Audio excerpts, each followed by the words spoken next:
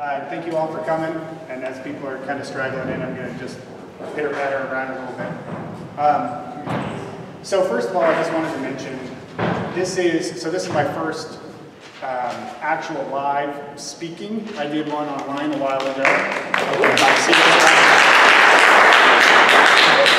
Um, and I'm actually fairly new to cybersecurity in general. So I've been in uh, the community for just a very short time. And so I just wanted to say to all of you out there, first of all, thank you for being awesome people in the community because this community is just so um, oversharing in a good way and, um, and just so encouraging. And part of the reason I'm up here today is because of all of the people that I've been surrounded by that are, are encouraging. So if any of you are like me a year ago and you're aspiring to do a speech, I highly encourage you to submit um, for something. If you think it's important, somebody else is going to think it's important. So just know you do have something important to say. So with that, I hope you think that I have something important to say.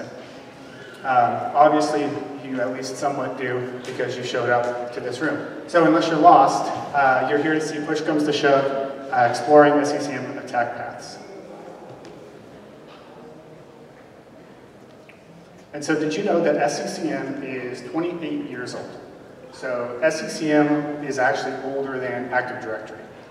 And I'm calling it SCCM, but it's currently known as Microsoft Endpoint Configuration Manager. Uh, there's like a million hashtags for SCCM, I realize now. Um, so it actually started in 20, or uh, sorry, not 20, that would not be 28 years, in 1994. And in 1994, it came out as SMS, or Systems Management Server. And just for reference, do you know what else happened in 1994? That was not the year I was born. Nice try. But Justin Bieber was born that year. China was first connected to the internet. And this guy became a billionaire pretty much overnight. Uh, but it's not a talk about 1994. And so while you might not remember where you were when Richard Nixon died, which was also 1994 by the way, you might remember where you were when you heard me talk about the gross vulnerabilities in SCCM.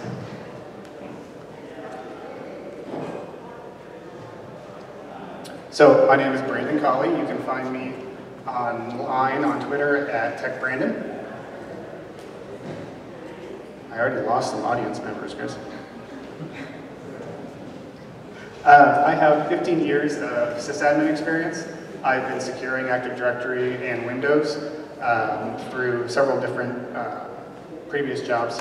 I'm currently a recovering SCCM administrator. Uh, thank you, one of my friends, Jake, for uh, letting me use that joke. So uh, I say that because I actually supported SCCM at three separate institutions. The most recent one I actually built from the ground up and implemented a lot of the poor things that you're about to see today. Currently, uh, over the last seven months, I've worked with uh, Trimark Security, and we perform Active Directory assessments for clients big and small. We do Azure AD, we do VMware, we essentially do uh, whatever the client really asks of us. And possibly most importantly, I am a big Kansas City Chiefs fan. I actually almost wore my jersey today, so maybe later tonight for the after party.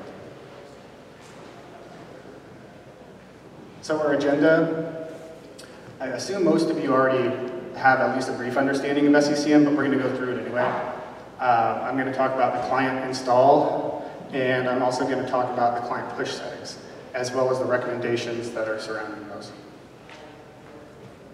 I'm then going to talk about the vulnerabilities that are mitigated or attempted to be mitigated by some of these recommendations. And then we get the fun stuff. We get to do some attack demonstrations. I've got three separate attack demos that I'll show you guys. And uh, I'm really excited that first time publicly, this is part of a uh, responsible disclosure for CVE that just got released earlier this week. There's a knowledge base article that just came out on Tuesday, I believe it was, that patches uh, some of the vulnerabilities that I'm showing you guys how to, to attack right now. So, so either you're welcome or I'm sorry, it depends on which side of the fence you are on, I guess. So we're going to talk about when push comes to shove, how an attacker can fully compromise Active Directory in multiple different ways. You'll see Windows and SCCM behaviors that extract administrative credentials. how attackers use those credentials to move laterally. And then we'll also figure out how you can completely bypass all mitigations. And this attack is, uh, could be used as a vehicle for not only just elevating to domain administrators incredibly quickly, but could also be used for something like ransomware. And so we're going to close the talk too, as long as I've got enough time and I talk fast enough with some mitigations. So here we go. So SCCM, like I said, I assume most of you know SCCM, but some of you might be lost, so uh, thanks for sticking around anyway. SCCM is a systems management uh, application that manages endpoints. It's typically used to patch systems for their OSs, deploy applications, deploy operating systems, and it does much, much more than that. Typically, it requires more than one full-time employee to manage SCCM, depending on the size of your organization. SCCM relies on the uh, client installation, so this is a client-based application. And when you first install SCCM, you get to pick your poison here on which method you'd like to use to install the client on all of your endpoints. And so the client install pu uh, uh, client push is the one that we're going to be talking about today. So why do people pick the client push, right? Well, it's very easy to do. It's been around for a long time. And I think most importantly, it's actually listed first in the documentation. And so we all, sysadmins are like water and we just take the path of least resistance, right? So honestly though, SCCM push accounts are fairly attractive because of the integrations that they have with Active Directory. So here's a screenshot of the uh, system discovery. The system discovery can be mapped into your Active Directory, so whenever new machines come online, they automatically are put into SCCM. The second piece of that is installing the client on those machines. And so here's the screenshot of the client push installation properties. And then you also have to configure the accounts. And so these accounts are configured because uh, to install the application, you need administrative credentials on the endpoint. And so here's where you can configure your application or your uh, usernames, passwords for the accounts that are going to do that installation. So basically our workflow here is going to be add, add new machine to the domain, that machine automatically gets injected into SCCM, and then SCCM automatically pushes the client with one of these accounts. So some of you might have seen this coming a little bit. Uh, client push is generally not recommended by Microsoft. They talk about the local administrative privileges that are required as being a major reason why they don't recommend this. And so that's where the talk typically would end right there. But lucky for us, we're going to keep going. So they offer, if you must, and I like to capitalize must here if I could, uh, if you must use the client push, first of all, do not put your account in domain administrators. So you're game over already if you've done that. Instead, they recommend that you spread the access across multiple accounts, and this limits your attack surface. Lastly, they recommend that you enforce Kerberos mutual authentication, and that is also known as this allowing fallback to the NTLM. And we're going to talk about that a little bit more, as that's essentially what we're talking about through the entire talk. So the allow connection to fallback to NTLM setting, this setting was added in 2018. Uh, version 1806 was released for SCCM, and that's when this was added up until, and I just learned this earlier this week, up until the most recent install of SCCM, this is unchecked by, or sorry, this is checked by default. So by default, all your installs are allowing fallback to NTLM. The most recent version that just was released, uh, if for a brand new install, does now uncheck this as the recommendation states. So just to clarify, what this setting actually does so Kerberos authentication is what's going to be preferred as far as just Windows in general goes. So communication between your clients and your servers are going to prefer Kerberos, but if Kerberos fails to authenticate or it can't use Kerberos for whatever reason, this setting will allow it to fall back to NTLM.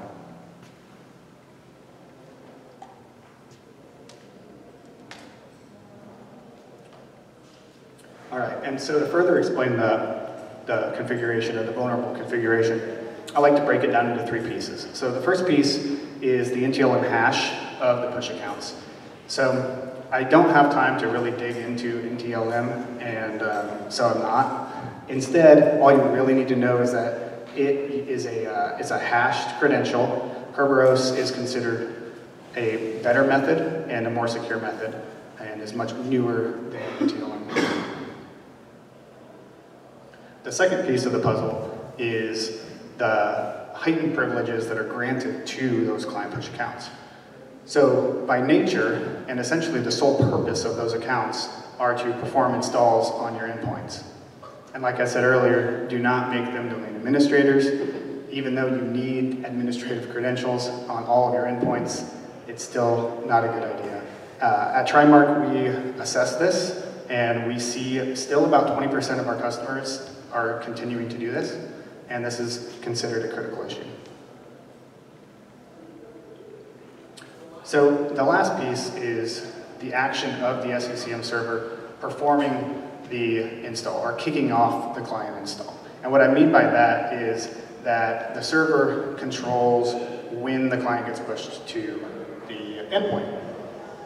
Or at least it's supposed to. So if an attacker is able to somehow trigger that installation process, they can put themselves in a position to where they can capture the NTLM hash of the push account and gain administrative credential on the endpoint. And so now we're starting to see the problem.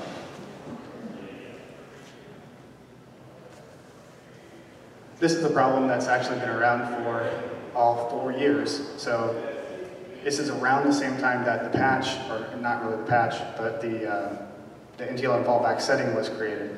So the, Matt uh, tweeted this out back in February of 2018, and he says that if you can elevate an endpoint, uh, you can gain the NTLM hash of the domain service account that's used to install the agent. And then, oh, by the way, that's a local admin on all of the endpoints that it manages.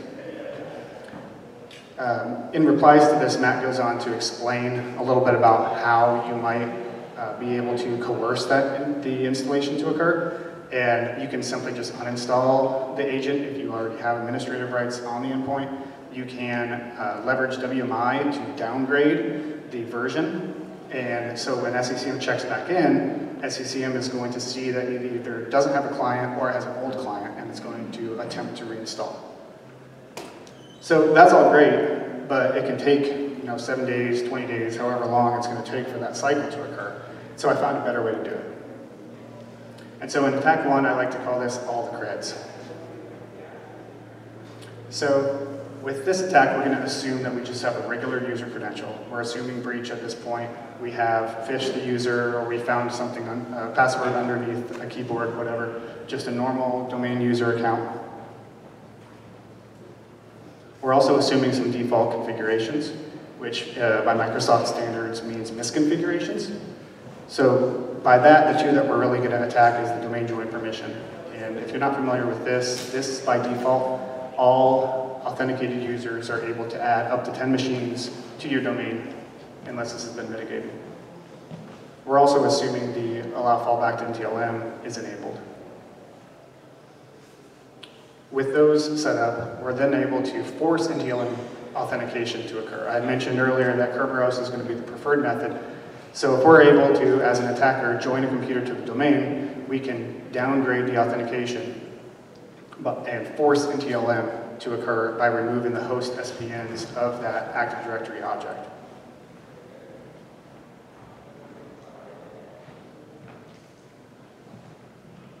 So the other piece I want to talk about, that's before we get to the hack, and all the, all the creds, the reason I call it all the creds is because we're going to attempt to capture all of the credentials that are configured for your SCCM push account.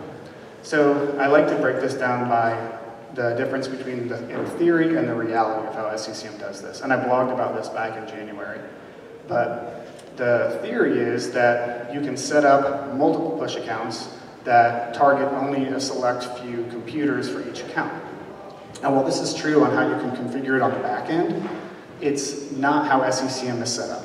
SCCM in reality works in a much more linear fashion, And by that I mean it's going to attempt the first account in the list. If that account fails to install an agent, it will uh, try next and the next and the next and so on.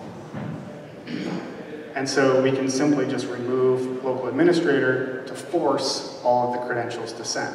And so while you might not have a single account that's a domain administrator, with all of those accounts combined, we are Captain Planner. I'm going to let you guys read this real fast.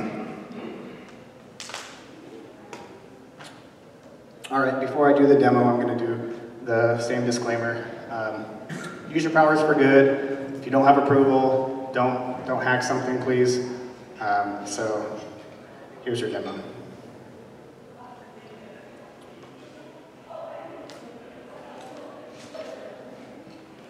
All right, cool, it's working, right? All right, so here is going to be just our attacker's machine. So obviously in the lab, I'm just using VMs. The, it's in theory could just be an attacker's virtual machine. And the first thing we're going to do is join this machine to the domain. I mentioned by default we've already uh, stolen credentials, so we're going to join the Brandon Rocks domain. Hope you all agree with our domain join account. This guy is just a domain user, and we've now created an account in Active Directory for this computer. And before we restart, I'm going to open up a PowerShell. Is the word, so you have to say shell twice? So PowerShell shell? Is that how you say I'm opening a PowerShell shell? No. No, it's just PowerShell. Okay. So I'm opening a PowerShell, and I'm running it as the domain join account. And the reason I'm doing this is because that account was used to add the computer to the domain, it's the owner on that Active Directory object. And if you own an object, you can manipulate all of its properties. And so here I'm running the set SPN with a delete, and I'm gonna delete these host SPNs.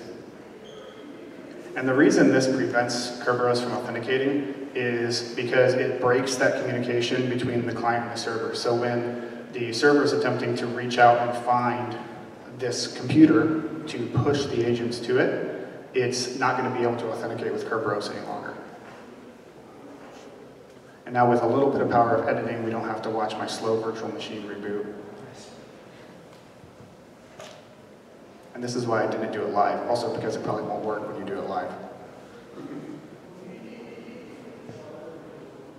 All right, and now we're taking off the, um, we're disabling Windows Defender because we're about ready to use a uh, hacking tool. So we're using Inve to act as a man-in-the-middle attack, or a machine in the middle, which is kind of strange to say because you're actually on the same machine. But what, what this is going to do is it's going to capture the network traffic that's coming to the machine.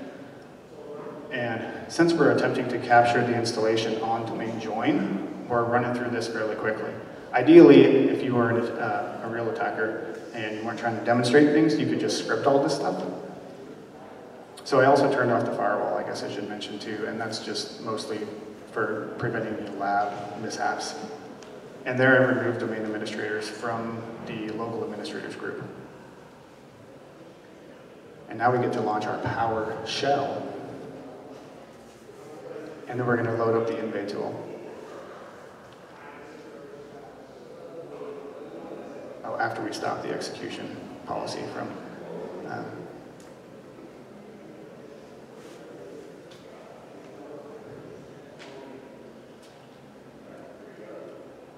I'll talk a little bit more about Inve. Um, we're going to run that a couple more times, and so I'll talk more about it later. But right now, what you're seeing is I'm just loading the PowerShell script, and then I'm running the invoke Inve commandlet, and I'm telling it that I want to see the console output on the screen, and then I also want to capture machine account credentials. And so here you can actually watch as the traffic's coming through, and we, and, and this isn't edited actually, um, this is just real time, and then here's all of our hashes that fly through. And so you saw all four separate hashes. Yeah, we know Windows security, we did that on purpose. And so we can stop it and then we can run the uh, git inve and we can pull all the NTL and v2 hashes that we were captured, all the unique ones. And here at the bottom, you can see that we got the push account one, two, as well as that DA. And then there at the bottom is the, the Win SCCM computer account. Did you say that one of those was a NTLM hash for a domain admin account? Um, yeah, it was just in my lab, the way that I configured it. And if it, and if it was, then why would you need like four of them, right? So- exactly. Um, so five minutes. So five minutes is all it's going to take to uh, pull all of the credentials for all of your configured hash account. Or, yeah, all of the hashes for your configured push accounts. Sorry, I mixed that one up. So what can you do with a hash, right? Well, you can crack it, as most of us are aware. So you take it offline. If it's not a complex hash, and if you've got a nice hacking rig, it can be possibly cracked within seconds. But what if you can't? What if it's a much more highly complex password, it's very long, then you can pass that hash around in what's called an NTLM relay attack. And that's what we're gonna do next. So, in picking on the definition of a strong password, we're actually gonna use the computer account for this uh, next demonstration. And I picked that for two reasons. The first reason is that, like I had said, is essentially the definition of a complex password. It's a 120 character password for your computer account, and it rolls, I think by default, every 30 days. Um, but it's not just a computer account. It's also the SECM server account. And while you think that might not be cool or anything, uh, you need to examine some of your installation and also some of the best practices that are out here. So if you're using a remote SQL server for the database for SCCM, you've had to grant that computer account access to your SQL Server database, possibly the SQL Server itself. If you're using a secondary site, you've done the same thing. You've added the computer account as a local administrator on that secondary site server. This one is potentially to be scary too, and this is if you're using a systems management container in Active Directory. You've delegated Active Directory rights to that computer account, hopefully just on that OU, but you never know if you did it at the root, you just gave full control, right? Nobody does that. And then this one I think is fun too. Um, Craig wrote a blog that argued that you could just use the computer account as the push account and just add it to the local administrators group on all of your endpoints. And in, in case you think that these are just old articles that I found on the web just by doing Google searches, they're not old, but I did just search on the web for a bunch of stuff. They are, those last three are released within the last year. And if you're an SCCM administrator or you're around uh, for any period of time. Those two in the middle are Projwell blogs. So Projwell is essentially the authority on SCCM, so I trust anything that he blogs about.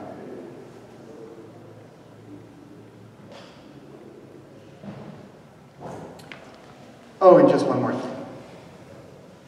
So you remember we dumped the hash earlier of the computer account, as well as all of the configured accounts. Well, if we actually follow Microsoft best practice, and we do not allow NTLM fallback to occur, it's going to do what we thought it was going to do. It's going to prevent the uh, Kerberos and the NTLM authentication for all the configured push accounts. So if we remove the SPN, then we can't authenticate with Kerberos. If we set this setting, then we can't authenticate through NTLM. And so none of the client push uh, configured accounts are going to attempt to authenticate to that endpoint. The computer account does. So this is our first way that we can circumvent this setting. So this attack is a little more complicated than the first. So I just wanted to briefly introduce uh, what a man-in-the-middle attack is and how a relay attack might work. So first, the victim computer, which is essentially the computer from our first attack. The victim computer and the SCCM server are communicating back and forth, and this is just normal communication, client-server communication. They determine that the client needs to be installed on that victim machine. Lucky for the hacker, he happens, or she happens to be in the middle, push the wrong button, and they capture the hash during that communication. This is essentially what we saw in that first attack. They then grab that hash and they relay it to the target machine. And in this example, the target machine is one of the machines that we have uh, added the local administrator uh, of the SCCM computer account into the local administrators group for the target.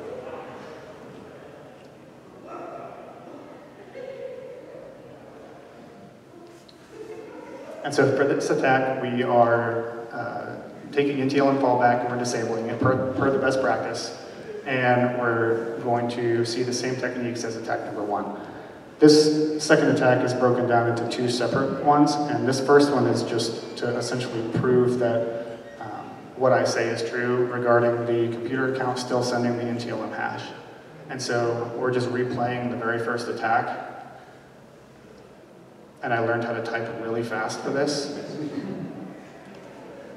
So this time we're adding the Hacker2 account, we're taking the SPNs off. The only difference is in SCCM we've now changed that NTLM fallback setting. And so what's going to happen is when we launch InVey, we're going to listen to that conversation, and then we're only going to see the NTLM hash for the computer account.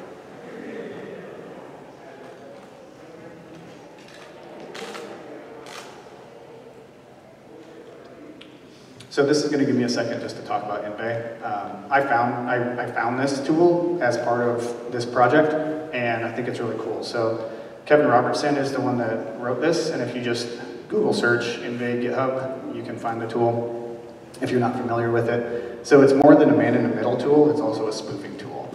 Uh, you might have seen that at the very top of it. It turns on the LLMNR spoofing and stuff. And there's the only hash that is sent. And that was the only authentication attempt that occurred during this setting. And so here we can verify this by just looking at the security log and verify that the computer account did in fact authenticate with NTLM. I don't know why I added this part to the presentation to be honest, other than the fact that you don't necessarily have to run a hacking tool to test this in your environment. You can go into the event log and you can visualize it, I suppose you know that we sent the hash because you literally saw the hash come through. okay, so was that the, when you say computer account, is that the computer account that you just joined, or is that the SCCM? That's a good question. So the question was, is that the computer account of the account that just joined the domain, or is that the computer account of the SCCM server? So that's the SCCM server account. The SCCM server computer account always attempts to authenticate to the endpoint. So that was, for whatever reason, a um, something that they decided to do as like a failsafe, I guess, to where if you don't have any accounts configured, you could potentially use that. Uh, I don't, I don't honestly know why it does it. I just know that it does and that it's bad. And so now that first piece of it is not only just showing how that communication works, but it's also set up something that can be a repeatable process. So as an attacker, what you're going to want to do is you're going to set up your Kali or your tools here to listen, and then once you're in, in the position to listen for those hashes, you can then cause the target to perform the behavior. And so the second half of this, we're using man-in-the-middle 6, and we're going to spoof IPv6 traffic and capture the credentials that way. We're also going to use NTLM Relay X to relay those credentials to our target. And then we're going to use proxy chains to connect remotely. And by the end of this one, we're going to get an SMB shell on our target machine without knowing the credentials at all.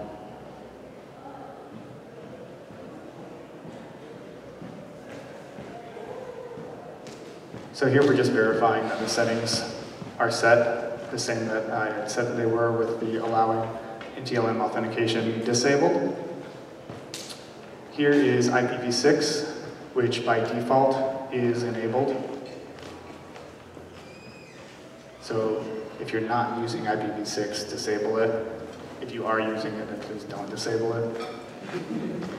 So this is our target machine. I should pause that on my bed. Here, I'm gonna try to go back, I got a couple minutes.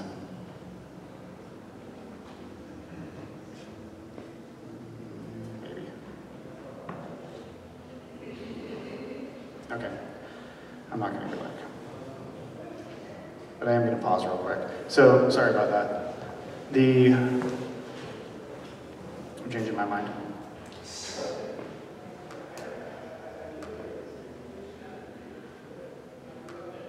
Embedded YouTube. Just do this. Reboot. Reboot. Burn it to the ground. Okay, sorry, this is just a two minute video anyway. So after this thing, I'm gonna show the desktop of the target machine. So that's gonna be the machine that we're eventually trying to hack. So here I showed IPv6 and I got talking about IPv6, I bet. The uh, target machine is there. That's the WI, uh, account added to the local administrators group. And then there is a text file that says not hacked. And so we're gonna hack it by changing the text file. And so here we're booting up our uh, man in the middle six, and that's gonna be our listener. And now we've set up NTLM relay with a target of the IP address for our target machine. And now here we're gonna simulate a patch cycle or just sitting and waiting with, with this, but this is gonna be what forces the SCCM server to connect to our man in the middle six. And when it does, it's going to be given a IPv6 address. And now it's gonna think that my Kali machine is um, able to communicate via IPv6. And so here, as soon as the computer comes back up, it's going to send that hash. And now, so there's the hash it sent. Here's our NTLM relay, and there, about four lines from the bottom, is where it attempted to connect to our target machine. And then there you can see that we do have an admin status of true on our target. And so we have the avail availability to connect with proxy chains. And here we're running SMB client to connect to the C share on that account with the Win SECM computer account. It asks for the password here, but you don't need an password. You just hit enter. So here, I can now traverse the operating system. I can put well, uh, malware. So I created this text malware. It's the first of its kind, I think.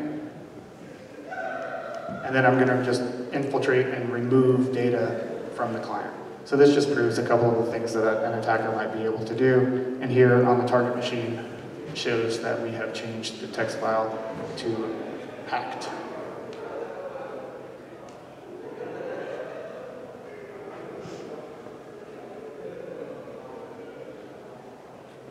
Okay, so that was just a really quick uh, NTLM relay example.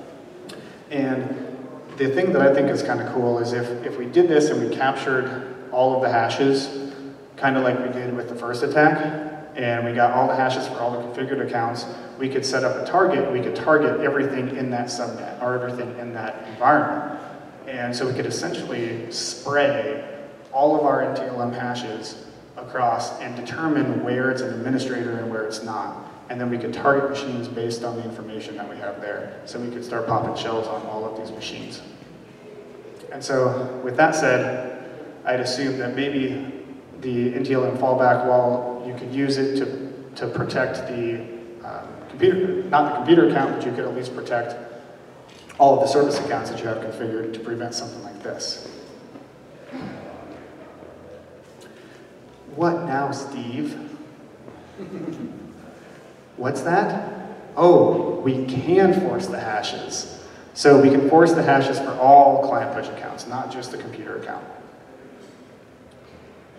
And so like I had said earlier, earlier this week, Microsoft released the information on this KB article and the related CVE that proved that there is a um, NTLM fallback is not honored, and I'm going to show you what I mean by that. And so as an SCCM administrator or on the SCCM server itself, you can run this command or you can essentially just right click and add device. And when you add device, you can set up an IP address as the computer name. The MAC address doesn't matter, it doesn't care about the MAC address. And so when it adds a device into SECM, it adds it just as that 192, I don't know why it does that, but that's just where it shows. And then when the client attempts to push, because, because there's no associated uh, Active Directory object, it can't use Kerberos to authenticate. So it's going to attempt to fall back to NTLM, but it shouldn't be able to fall back to NTLM because we set it to not do it. And for whatever reason, I and I don't know how they patched this, honestly, um, but I do know that direct IP communication is always going to use NTLM, so it must just be a bug that they did not account for. And so while this is cool, and it earned me a CVE, it's not a weapon because you have to be on the SCCM server to add the computer to it. Or at least it wasn't a weapon. So earlier this year, there's a tool called Sharp SCCM. Um, Mayhem, aka Chris Thompson from Spectre Ops, is the author of this tool. And he and I have uh, gone back and forth a couple times on, on this and, and worked together. And the tool does a lot of cool things. It's, I think, in its third iteration now, and he keeps adding different uh, vulnerable sort of things to it. But when it was first released, what it did is it allowed us to register a new device in SCCM and then trigger the client installation. And the reason this is cool, and the reason it's a weapon, is you can do this as an unprivileged user from any domain joined computer. So you don't have to have access to the SCCM server to do this. And so instead of talking more about it, let's watch it. And so for our last attack here, we're disabling the NTLM fallback uh, per best practice because that's essentially what we're attacking and proving that we can. And then I think the best way to do this is to just show a comparison of what standard install behavior looks like versus behavior using Sharp SCCM. And so what I'm going to show you in the first half of this demo is just what a normal client installation looks like. And so here we verified again that allow connection fallback is unchecked.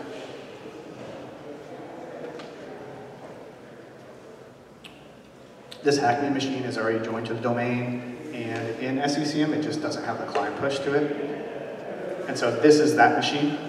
So here I have my shell with domain administrator, and here I'm just going to show you and confirm that I haven't messed with the SPAs on it at all, just to confirm that it's just a normal classic installation.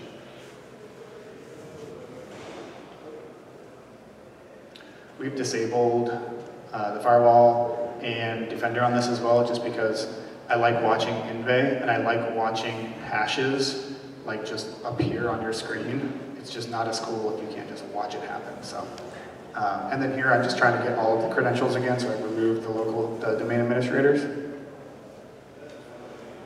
And so we're going to set up our Inve listener.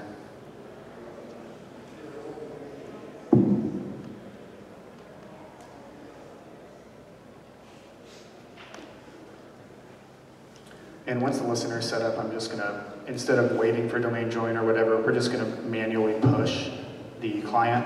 And again, what you're gonna see here is me go, I'm gonna, gonna go to the SCCM server, and I'm just gonna right click and install client. And we could, we could do this a number of different ways, but for demo purposes, this is just what a normal installation might look like. And so here on Envy, we're going to see something that we haven't seen before, and that's Kerberos authentication. So that's all that Kerberos looks like, and all it says is authentication method is Kerberos and the IP address. And we can prove that through the security log again. So here we'll find the logon event. All of the uh, configured accounts did this. I just highlighting just the last one, which was the SCCM computer account. And then there you see that Kerberos authentication was used.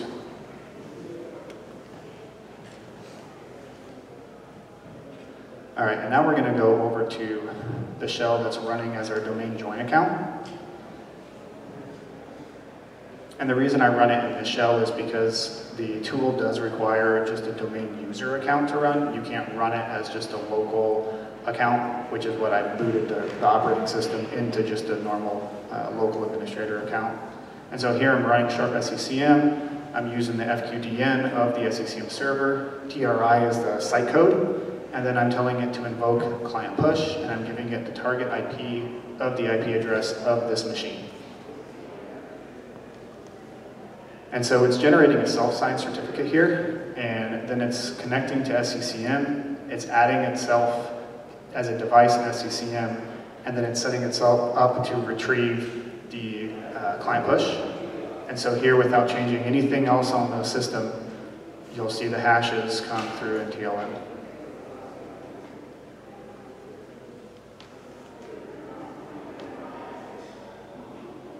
And so that's, that is the vulnerability. And that's how we can generate and use SCC, Sharp SCCM to send us all of the hashes, regardless of the NTLM fallback setting. And here, one more time, we can just prove the NTLM hash uh, protocol was used.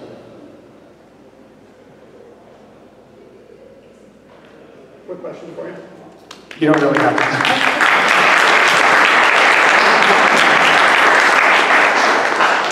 Yeah, go ahead. So the, the main thing that the Sharp SCCM tool was doing at the end there was forcing the client push rather than having it wait for the normal cycle, is that correct? Um, so yes, it was it was uh, it was originally set up, uh, and uh, when Chris built it, and he didn't know it did this. Um, when you set it as the IP address, because instead of using the IP as a target, you could just create like a fake computer or whatever, and then it would attempt to connect there. And uh, he just did that in response to Matt's tweet, uh, in saying that you know you can uninstall the client or whatever. So by doing this, his original intention was to just be able to trigger that uh, authentication to And then occur. you found the additional detail. And then I found the detail in that if you use the IP, that it didn't seem to allow, uh, it, it shouldn't have allowed NTLM to occur. And actually, in one of his earlier blog posts, he points out that a fix for his tool and what he had shown using it was to, to, to set that. And I don't know what made me do it, but maybe I just don't trust him or Thank you. Okay. So let's protect it, right? So now that we broke it, how do we protect it? Like Vincent said, we just burn it to the ground. So this is the KB uh, that just came out that patches the vulnerability, but in addition to that, you still do have to disable NTLM fallback. And is, is that patch applied to the SCCM server or to administration? It is, it's, uh, it's not an OS patch, it's an application patch inside SCCM. So you would get it as um, the same way that you would upgrade the application. I can't remember what the setting is called in SCCM to install the hotfixes. All right, like I had alluded to earlier, the domain join misconfiguration. So this is a big one, and it's actually been in the news fairly recently with curb relay up. So curb relay up used this as a vector. It's not the only vector it uses, but um, like I had said earlier, by default, the add workstation to, to domain GPO, this is a user rights assignment. And by default, you have authenticated users in there. So remove that and add uh, uh, whatever group you may require would be a good recommendation. In addition to that, a lot of times you'll see recommendations to set the MSDS machine account quota to zero, and that's also going to prevent the issue. And then you can use explicit permission on OUs, so if you need like a help desk employee or something to add, got it. Um, it's only, four, I have, oh, okay, yeah, you're right. Sorry, explicit permissions. Also, um, if you don't have access to do the GPOs or if you're only a SECM administrator, you can also just configure uh, exceptions. So in the system discovery settings, you can set up a excluded computer OU.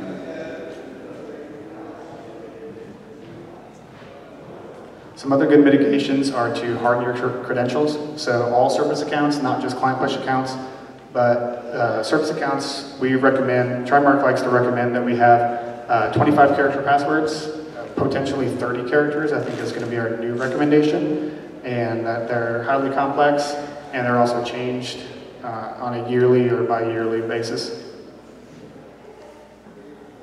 And that obviously is going to protect you against offline cracks.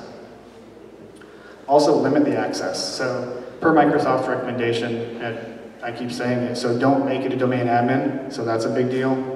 So continue to limit the attack surface, and in doing that, never use a client push account on a tier zero asset. Can you say that again? Never use a client push account on a tier zero asset. so instead, I would recommend, as you're texting your buddies right now, um, I would recommend that you do a manual install. So whatever, so even if it's not a domain admin account and it's a server admin account, um, remove it from the local admins of the tier zero asset. And then if those per- permissions for the computer account uh, are not necessary, then I would recommend removing the permissions on the SECM computer account. Also, I mentioned earlier disabling IPv6. If you're not using it, that's going to prevent the man-in-the-middle six spoofing. It's a big guy, isn't it? Uh, also, NTLM relay can be prevented by using SMB signing. So enable that in your GPO. That is a little bit harder to do, I will admit. Uh, this is also a little bit harder to do. If your SCCM is not set up to use HTTPS, it should be modified to do that. So using PKI is going to enforce encryption and signing. And that's going to help the uh, Sharp SCCM when it used the self-signed cert. Uh, it would still obviously encrypt, but it, it's not uh, from a valid source. So doing the HTTPS would help that. Also disabling LLM and NAR, NetBIOS, and NTLM. Yes, try to disable NTLM. I know that one is terrible and very hard to do, but at least use NTLM v2 if you can. Most importantly, just don't use client push. Group policy install and software-based install are much easier. Also, and I'll say this again for tier zero, if you're using SCCM to manage tier zero assets, SCCM is now a tier zero asset. So I would recommend either not using SCCM at all on them or standing up a new instance of SCCM that can be tier zero that can manage only your zero assets. So you're talking about setting up separate, separate SCCM within the tier zero environment? Yes, yeah, so if you've got like a red forest or something, yeah, do a uh, SCCM just for that forest. All right, real quick, I've got like two minutes. Um, thanking all these people. So Trimark peers are awesome because they listened to me and they encouraged me and they let me listen. Uh, they listened to me talk about SCCM endlessly for like six months. Um, my WIU peers, so that's where my old employee went, they let me come in as a proof of concept and do this to them. And uh, so I thank them on that because it's not just a lab environment. I actually was able to prove it in a real environment. Here's some resources that'll be available later. And questions? Holy cow. I have like 30 seconds. Um, I'll ask you offline some questions. We we can have some. Okay, all right, go ahead. Uh, who had a question? Sorry. And I'll be, so I'll chill out here later too. So if you have a question and I don't get to you. So my talk will be similar later. We can deal with some of those questions. Awesome. Additional questions. You're, you're giving the talk in like an hour? Three. Okay, yep. Won't be as good, but I bet it will be. I'm excited. I was looking forward to watching yours.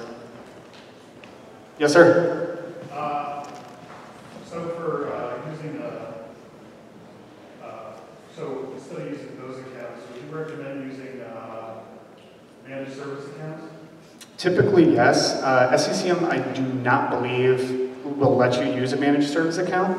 When you configure the client push accounts, it prompts you for a password. So I think you have to set the, yeah. So they do it in a stupid way. like, he's like, of course you can't. Managed service accounts are good for nothing.